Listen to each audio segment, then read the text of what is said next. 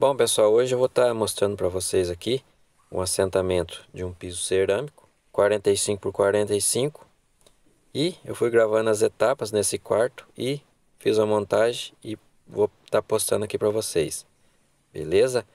E quem quiser acompanhar aí como eu faço o assentamento de piso cerâmico, é só assistir o vídeo aí até o final, beleza pessoal? Bom, como vocês podem ver, aqui foi assentado o piso da forma invertida. E ficou bem legal aí, pessoal. O cliente decidiu que fosse assim e ficou bem legal. Tá aí o banheiro. É, na verdade é o banheiro da suíte. Aqui são quatro suítes. E este piso foi assentado nas quatro suítes e na sala, acompanhando o alinhamento, sem soleira na, nas portas, ó. E ficou bem legal.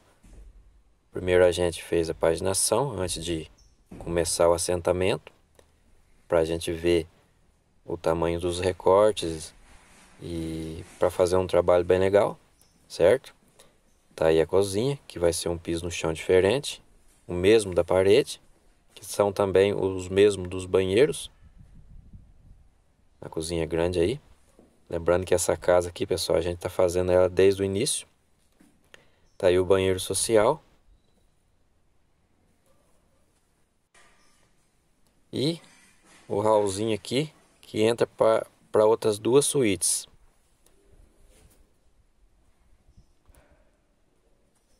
Ó, bem legal o piso da forma invertida. Não deu trabalho, o piso é cerâmico, mas é bom. E agora a suíte principal aqui, ó. Ela é maior. Então é isso, pessoal. Espero que vocês gostem do vídeo e deixem um like pra gente para estar tá nos ajudando aí. Beleza? Segue o vídeo aí, pessoal.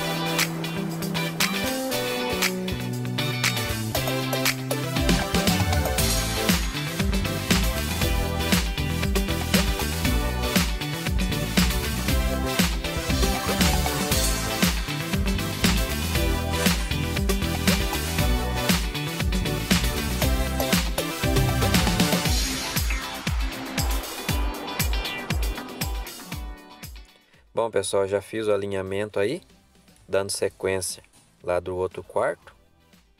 E agora é só começar o assentamento.